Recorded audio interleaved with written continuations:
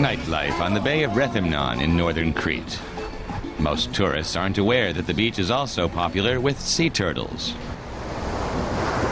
This female hatched on this beach many years ago. Adult sea turtles return to where they were born to lay their own eggs. It's 5 o'clock in the morning. Ruben and Julia work for Greece's Sea Turtle Protection Society, Archelon. They're just setting off on their morning inspection rounds. At daybreak, they reach the most important nesting beach for the sea turtles of Crete. It's 11 kilometers long. Archelon is the only organization looking after it. The group receives no financial support from the Greek government.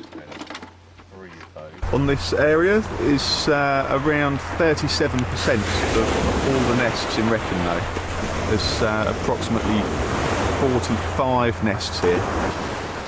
Ruben and Julia look for new nests and turtle tracks, but don't find any. The pair check the old nests. They're fenced off, but a path to the sea has been left open so the hatchlings can reach the water.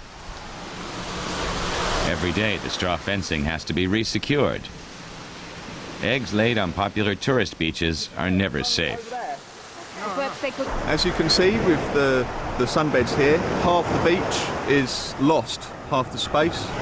So when the female turtle comes out to lay the nest, the sunbeds are in the way and the turtle hits into them and goes back to the sea and not having the nest.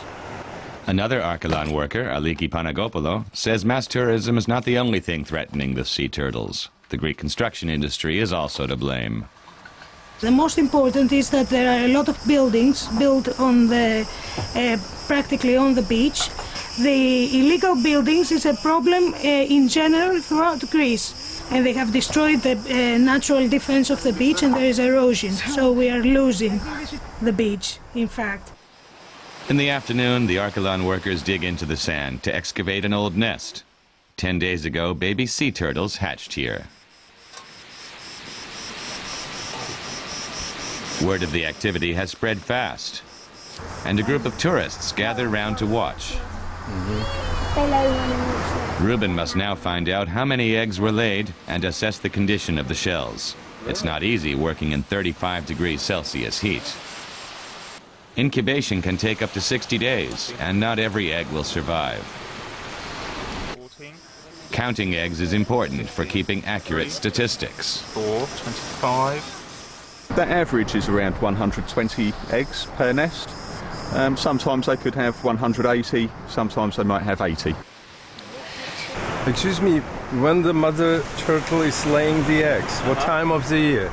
What time of the year is uh, usually sometime between uh, the middle of May to the middle to the end of July. Thank you very much. Okay. Thanks.